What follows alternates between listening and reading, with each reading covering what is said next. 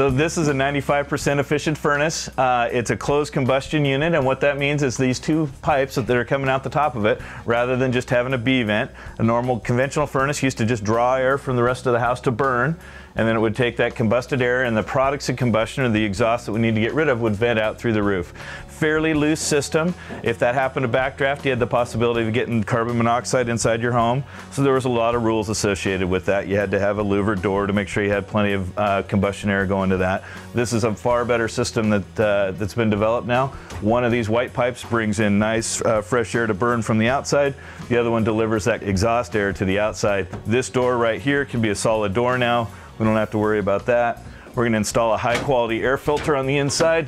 Takes up the whole space of this cabinet. So rather than the little one that you may have seen before, this is going to be a thick media filter that's really going to catch all the dust and particulates that you don't want to have circulating around inside your home.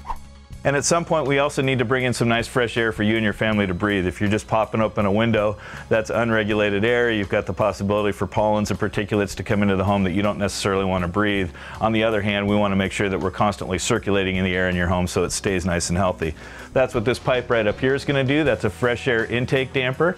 It's got a timer on it that we're going to have uh, interfaced with your thermostat uh, on a regular basis. That's going to call for air. This uh, electronic damper inside this fresh air uh, duct right here will open up. It'll draw nice fresh air from the inside or from the outside in. And your furnace, it'll run it through the uh, media filter that we've installed right here, and your furnace will distribute that fresh air throughout the home on a regular basis. All right, so we've installed a weather-resistant barrier on the outside of your home to keep the weather on the outside. Uh, we talked a little bit about the ability for air to drive uh, moisture into or out of the home. Uh, that's also going to have an impact on the draftiness and the comfort of your home and the energy efficiency of your home. So it's important to us that we seal the home up completely. We get a complete separation of the exterior of the home from the interior of the home.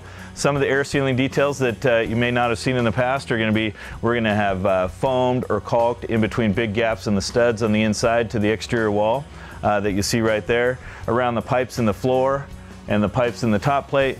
We're gonna have a foam insulation around that and or caulking to, to gap any holes that you might see there.